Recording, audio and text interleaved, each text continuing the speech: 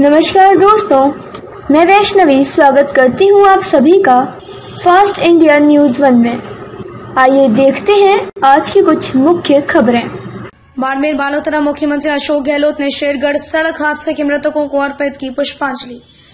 शोक संतप्त परिवारजनों को बधाया ढांढस। गहलोत ने संत राघव दास आश्रम में शोक सभा में परिजनों को ढांढस बधाया। बड़ी संख्या में माली समाज के लोग भी रहे मौजूद। शोक सभा में राजस्व मंत्री हरीश चौधरी, पचपत्रा विधायक मदन प्रजापत, बाड़मेर विधायक मेवा राम जैन, शिव विधायक अमीन खान, चौहटन विधायक परमाराम, पूर्व मंत्री सुनील परिहार, पूर्व सांसद मानवेंद्र सिंह जसोल, कांग्रेस जिला अध्यक्ष फतेह खां जिला प्रमुख प्रियंका मेघवाल रहे मौजूद। आज के लिए बस इतना ही। कल फिर होगी आपसे मुलाकात।